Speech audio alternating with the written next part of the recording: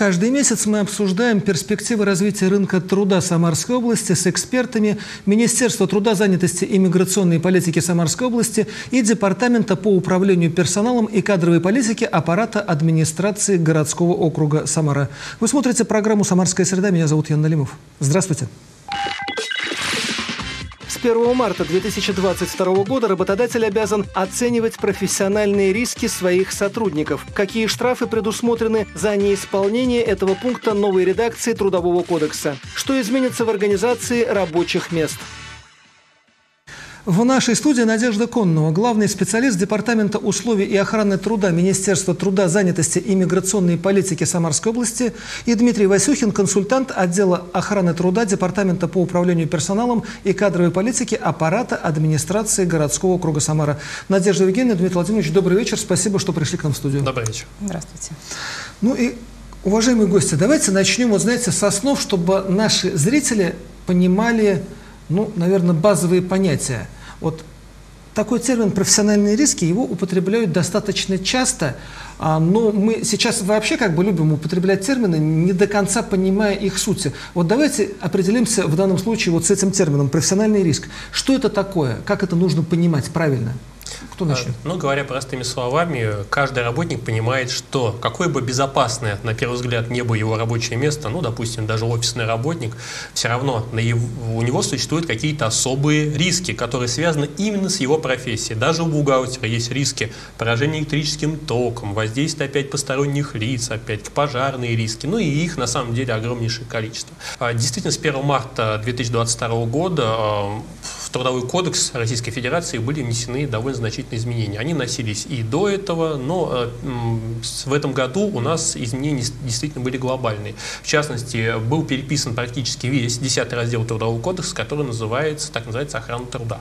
И в частности, в 214 статью Трудового кодекса была добавлена новая обязанность по оценке этих самых профессиональных рисков. Э, профессиональные риски в самом широком понимании этого слова это те же самые опасности, которые потенциально могут привести либо к несчастному случаю на производстве, либо при длительном воздействии к профессиональному заболеванию. И вот теперь работодатели должны будут, во-первых, первое это выявить эти самые опасности, эти самые риски, ну, э, в обязательном порядке их оценить, на степень их э, вероятности, во-первых. Далее оценить, насколько они э, опасны.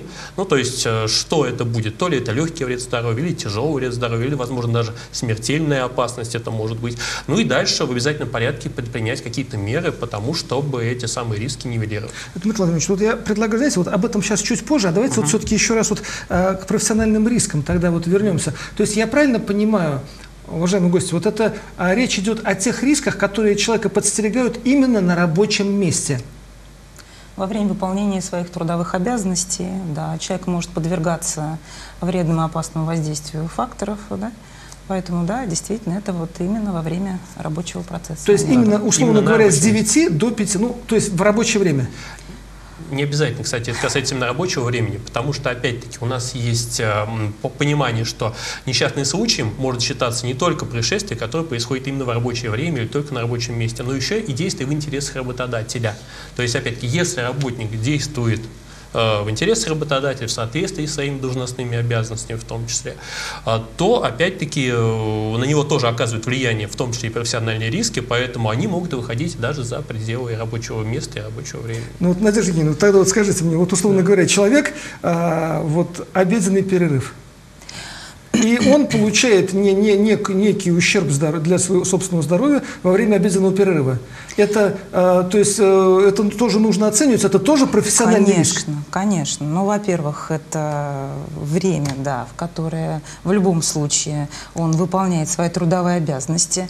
Он либо питается, да, на территории предприятия, может, это где-то в столовой предприятия. Да. В любом случае, время оговорено у него в трудовом договоре. И получается, что если с ним что-то происходит, даже во время обеденного перерыва, то придется нам это дело как да. бы Оценивать? учитывать. Да. Учитывать обязательно порядке. Надежда Евгеньевна, да. прошу прощения, но вот смотрите, тогда ситуация просто, ведь мне вот, знаете, сейчас что приходит в голову, ведь любое хорошее дело можно довести до абсурда. Вот, предположим, обеденный перерыв, и работник идет обедать, и, например, ну не знаю, там кушает неаккуратно и поперхнулся там пельменям, например, и ему стало плохо. Вот это профессиональный риск или это не профессиональный риск? И он это, если он это делает на территории столовой, например, на заводе, это профессиональный риск? Вот как вы, как специалист, что скажете? А, ну, во-первых, э, он э, не выполняет в этот момент свои, А, вот да, так. конечно, трудовые функции, он питается.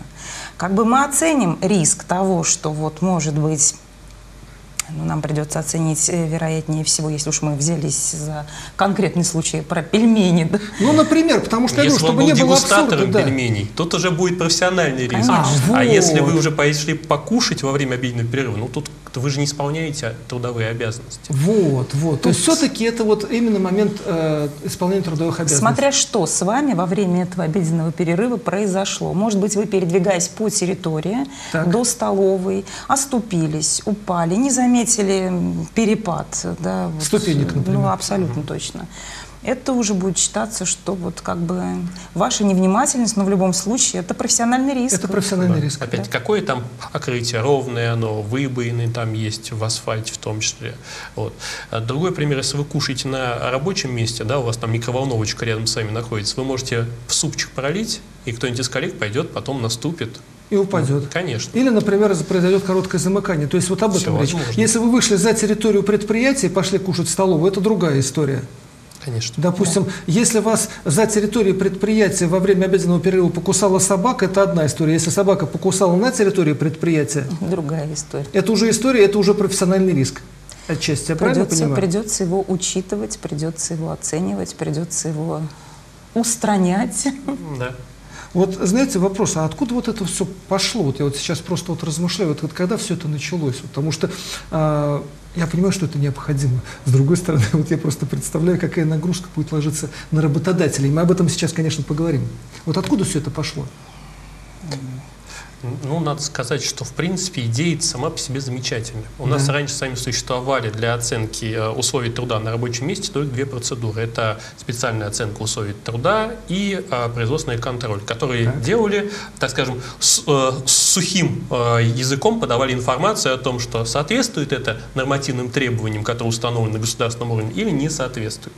Оценка рисков – это более творческая работа как для самого работодателя, так и для службы охраны труда. Ну и, конечно, у нас тут включаются непосредственно и работники, потому что они тоже напрямую завязаны в этом самом, работе, в этом самом процессе оценки своих профессиональных рисков. Потому что ну кто, кроме них, так глубоко погружен в эту самую тему, какие опасности есть у них на рабочем месте.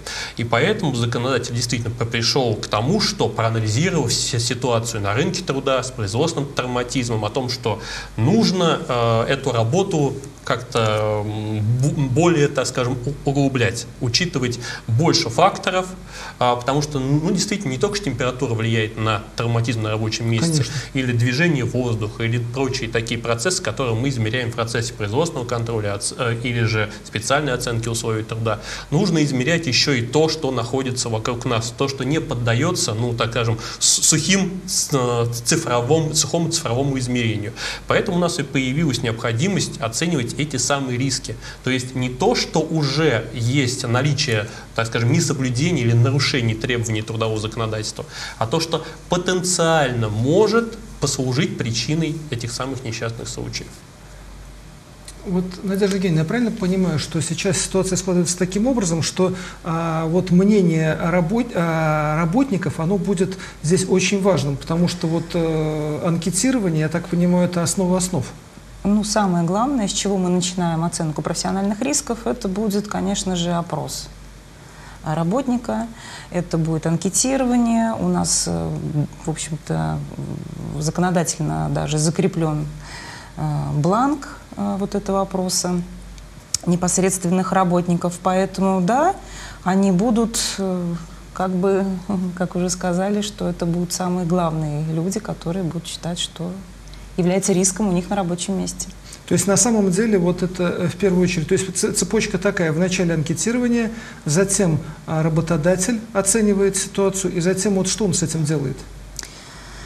А, вообще, вначале э, придется в любом случае создать комиссию для того, чтобы оценить профессиональные риски в организации. В любом случае это будет комиссия. И желательно, вот, и желательно, чтобы это был не один специалист по охране труда или уполномоченный, на кого возложена эта обязанность э, вести охрану труда.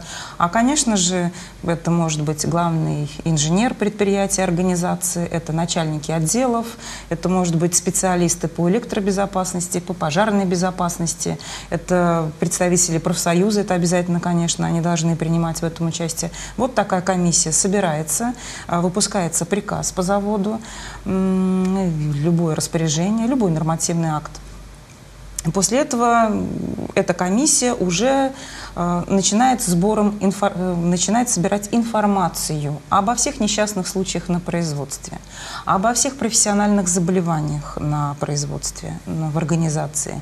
Э, обязательно оценку профессиональных э, специальную оценку условий, условий труда. Условий труда так. Ее обязательно необходимо будет учитывать. Без нее, вот надо сказать, что оценку профессиональных рисков сделать будет невозможно. Вот собирая все вот это, вот вы будете по вашей организации уже составлять классификатор э, опасностей, рисков, не что иное.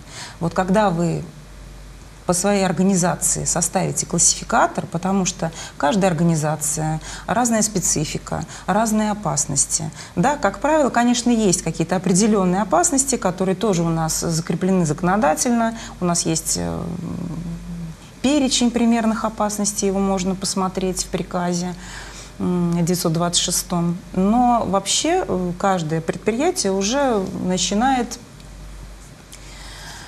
составлять свой классификатор в соответствии со своей спецификой. В любом случае, ну, опять же, это зависит от количества людей на, в организации. То есть как бы тут не вот все просто. А уже после этого, когда составлен классификатор опасностей, после этого приступает уже ну, к оформлению. Тут вот самое первое, конечно, это опросные листы работник обязан будет. То, о чем начинали говорить. Конечно. Вот тут уже с этими опросными листами будет уже работать работник. Без них, э, опять же, оценка профессиональных рисков будет бессмысленной, и она будет, ну, неверная, скажем так. Да, потому что те же самые специалист по охране труда, вот он, проходя по, по территории предприятия, организации, он видит поверхностно, да, то есть опять-таки ну, или руководитель, картину, да. да, он общую картину видит, какие могут быть риски. Человек, который работает на местах, он может быть дополнительно какие-то видит возможные потенциальные опасности, которые может не заметить его руководитель. Поэтому мы опрашиваем опять-таки и самих руководителей, и спрашиваем мнение должностных лиц, то есть непосредственных начальников, то есть какие они выявляют опасности. Мнение профсоюза, мнение опять специ... службы охраны труда, все это важно в обязательном порядке, в том числе при составлении этого самого реестра опасности, который есть на, на предприятии. Вот он появился, этот реестр опасности. Что дальше? Что с ним делать предприятию? А, дополнять. Ну, Потому что он не может быть конечным, он постоянно, он жизнь меняется, он постоянно меняется. Абсолютно тоже. точно. Сегодня произошел несчастный случай, допустим, человек, еще раз, ну, допустим, укусила его собака, идя по территории с одного цеха в другой, или, допустим, по служебным обязанностям он несет документы в какую-то организацию, на него напала собака, у вас в этом перечне отсутствует такая опасность, нам придется ее дополнять. Ну или новый производственный процесс. Ты, например, запустил новое производство, тут вообще Конечно. как бы у тебя ну, целый пласт появляется новый совершенно. Естественно. И материалы, и оборудование, и инструменты. Это все, конечно, влечет уже за собой новые опасности. Да даже новый продукт на самом деле, если ты там раньше выпускал там один вид продукта, теперь добавился еще один, по идее получается это риск. То есть это процесс, я так понимаю, бесконечный на самом деле. Ну, вы понимаете, вообще для организации законодательно не, не определен срок, в течение какого времени или там, через какое время вы можете провести да, оценку профессиональных рисков. Как вы не скажете, это действительно процесс, бесконечный конечно. процесс. Тогда что в конечном итоге должно быть у работодателя? Потому что вот что изменится в организации рабочих мест? Вот он провел эту оценку, а что для него изменится? Он должен, получив вот этот документ, он что должен делать дальше с ним? План мероприятий по устранению вот непосредственных этих рисков. А, необходимо будет его разрабатывать, необходимо будет его придерживаться. Э, то есть как бы даже взять ту опасность, э, когда помыли пол, и работник, передвигаясь по коридору, может а нету упасть. таблички «Скользкий пол»? Абсолютно верно. Осторожно. Вот казалось бы, да, уже э, абсурдная Привычная ситуация. вещь, на самом деле, уже, но вы все ходите в поликлинике, там это часто можно увидеть, кругом Да. вообще вот стоит. Сейчас, в общем Это не просто так. Абсолютно точно. Каждый не хочет, э, в общем-то, получить э, несчастный случай.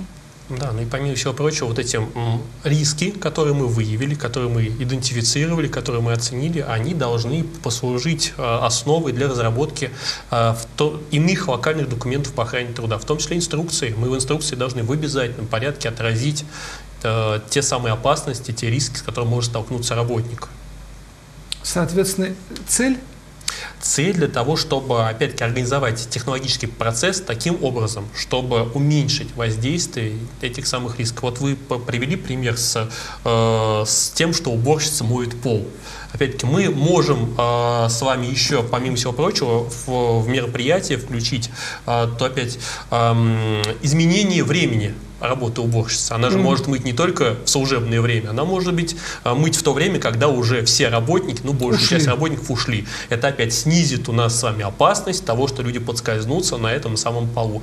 Казалось бы, мысль Простая и так вещь. простая и логичная, но это же опять все проистекает из этой самой оценки профессиональных рисков. Ну да, это не что иное, как это минимизация повреждений здоровья.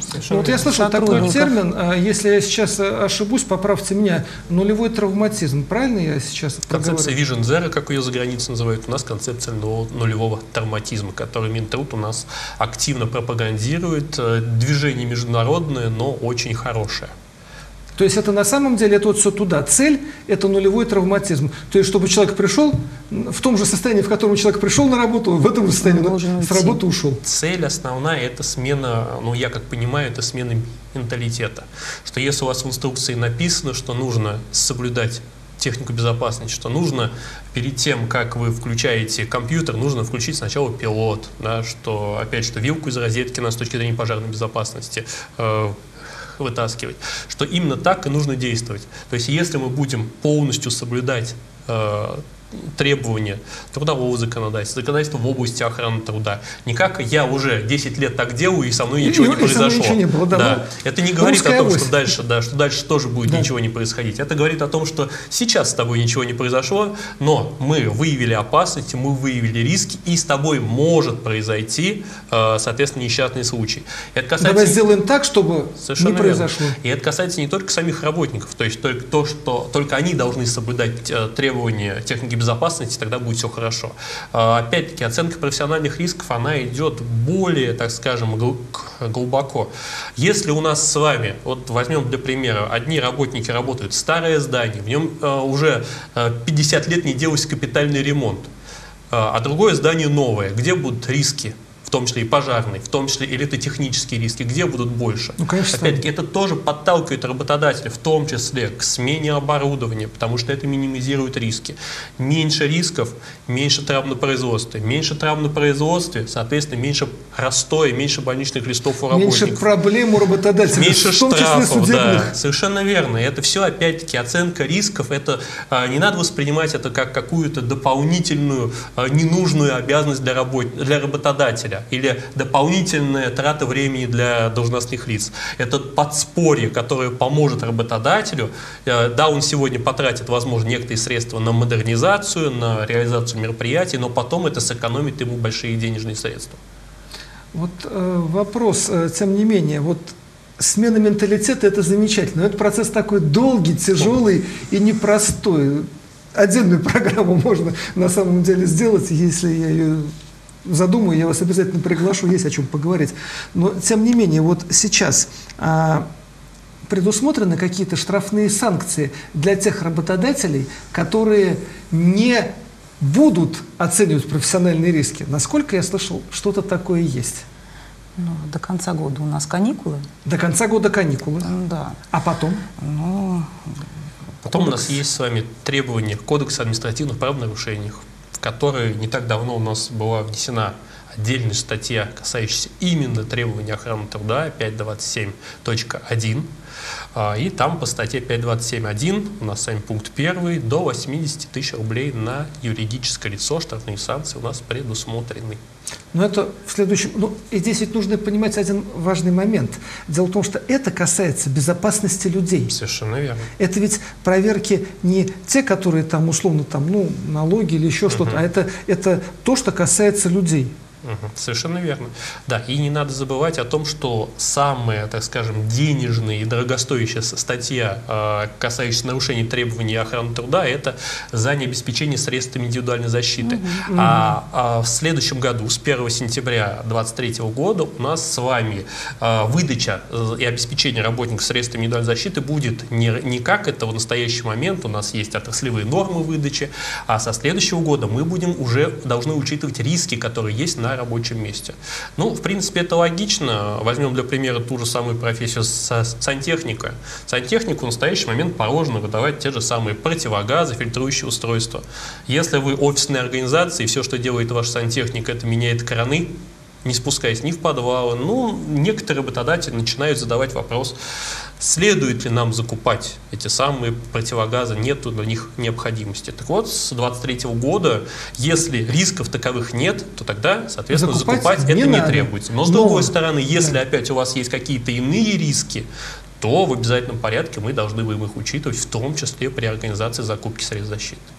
То есть это позволяет, я правильно понимаю, это позволяет, с одной стороны, как бы и э, минимизировать затраты. То есть если очевидно, что человек не занимается вот э, этими э, обязанностями, и там рисков нет, то вот эти средства защиты ему покупать точно необходимо. Неформальный подход. То есть мы с вами приходим к тому, что не, э, так скажем, не четкое с, от запятой до запятой чтения нормативного документа, а документ должен соответствовать сегодняшней реалии.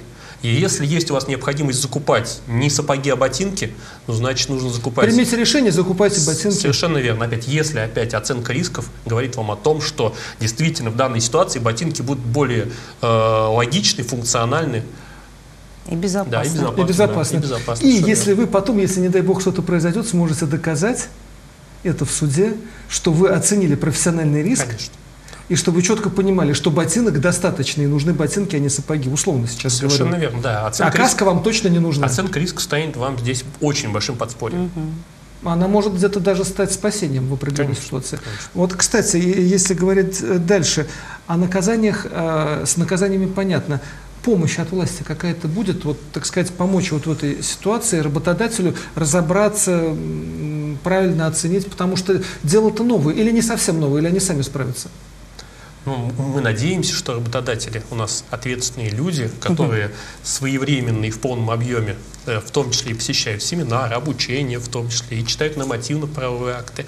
Но действительно законодатель у нас дает э, так скажем, э, рычаги в помощь, опять-таки, руководителям организаций, должностным лицам, да и работникам в том числе. У нас существует 248 э, федеральный закон, который говорит о том, что и госорганы, госвласти, и даже контрольные органы, которых очень сильно боятся, та же самая госинспекция, и иные органы, да, они должны в том числе осуществлять и информирование, в том числе и консультирование осуществлять, э, и посещать в организации не только с целью проверок, но и с целью оказания, э, оказания помощи работодателям. То есть, опять, эти визиты, они не будут носить, если они, опять-таки, инициируются самими работодателями. То есть, обращаемся в госорган, муниципальный орган, опять-таки, с просьбой помочь им ну, конечно, не само организовать работу, потому что ну, ну, понятно, за нас, конечно, это работа, да, никто не будет, да, да, совершенно верно, но опять указать на недостатки. Такой своеобразный аудит. Внешний. Который, внешний аудит. Это да, возможно. Да, ну, конечно, от эффекта замыливания глаза никто не застрахован. Нам кажется, что у нас все идеально, а сторонний наблюдатель посмотрит и укажет нам, вот здесь не так, вот здесь не так, собственно говоря. Поэтому 247, 248 федеральный закон дает нам такое право, и я всех э, руководителей, граждан в том числе, рекомендую пользоваться этими самыми э, возможностями и активнее консультироваться. Потому что мы тоже иногда участвуем, в том числе и в контрольных мероприятиях по приглашению контрольных органов в качестве экспертов. И мы действительно наблюдаем, что ну, такие глупые ошибки совершают, которые буквально ничего не стоит исправить, если опять-таки знать, как правильно организовать процесс. То есть обращаться – это нормально, это правильно, это никаких э, последствий для предприятия не, не влечет. То есть если вы что-то выявили, вы за это наказывать не будете. Вы просто укажете на ошибку и скажете, поправьте, пожалуйста, это для вашей же пользы. В законе как раз и указано, что опять сведениями, если опять мы проводим профилактический визит, да. Э, сведениями, которыми мы выявим в процессе этого визита, мы не можем пользоваться для наказания. Замечательно. Ну что ж, спасибо за интересную и содержательную беседу. Я надеюсь, что вот такое важное дело, как э, минимизация травматизма вообще на всех рабочих местах, оно будет продолжаться, оно будет развиваться. И тот самый нулевой травматизм, вот, о котором вы говорили, ну, может быть, окончательно мы его, до него не доберемся, но хотя бы приблизимся, потому что на самом деле это очень важно. Спасибо.